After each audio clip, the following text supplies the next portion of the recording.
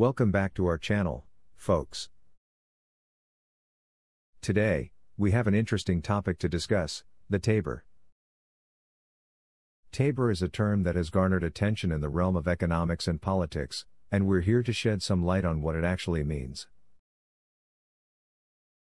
So, what does Tabor mean? Tabor stands for Taxpayers' Bill of Rights. It's a concept that was first implemented in Colorado, USA, in 1992, but variations of it have been adopted in other states as well. Tabor is a fiscal policy that aims to protect taxpayers by placing certain limitations on government revenue and expenditure. The underlying principle is to give taxpayers more control over their tax burden and government spending decisions. Now, Let's delve into the key components that define Tabor. Firstly, Tabor establishes restrictions on taxation. It typically requires that any proposed tax increase or new tax must be approved by the voters through a referendum.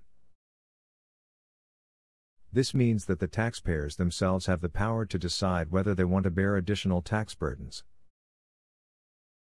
Secondly, Tabor puts limitations on government spending. It sets specific guidelines on how government revenue can increase over time.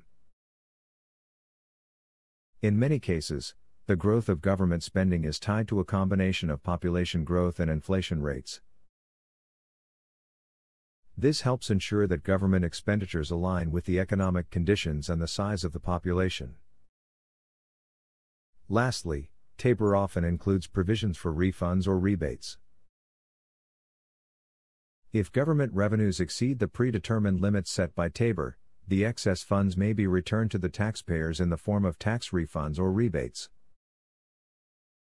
This mechanism ensures that the government doesn't accumulate surplus funds beyond what is deemed necessary.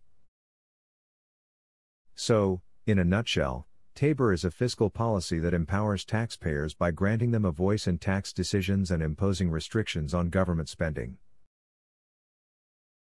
It aims to strike a balance between funding necessary government services and protecting taxpayers from excessive taxation.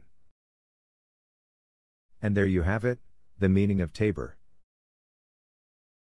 We hope this video helped you understand this important concept in economics and politics.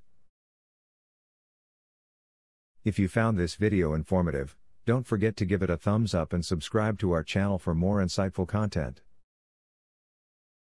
As always, Thank you for watching, and we'll see you in the next video.